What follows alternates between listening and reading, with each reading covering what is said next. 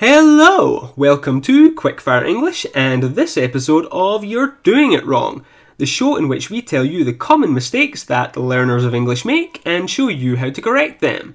Today's episode commas with numbers. So, let me ask you a question. Say we have the words 100,000. How should we write that using numerals rather than words? Now, a lot of English learners will write this because it's how they would write 100,000 in their own languages.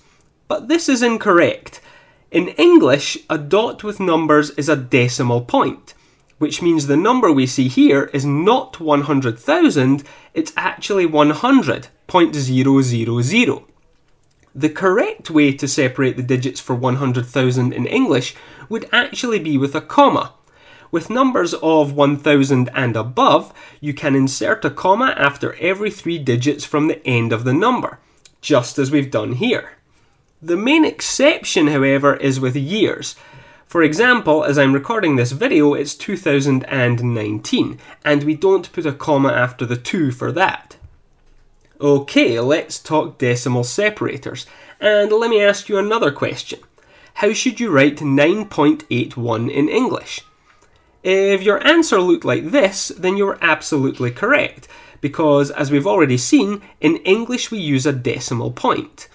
Now, sometimes students get upset when I tell them this and they insist that it should be 9,81 because that's what they write in their own languages.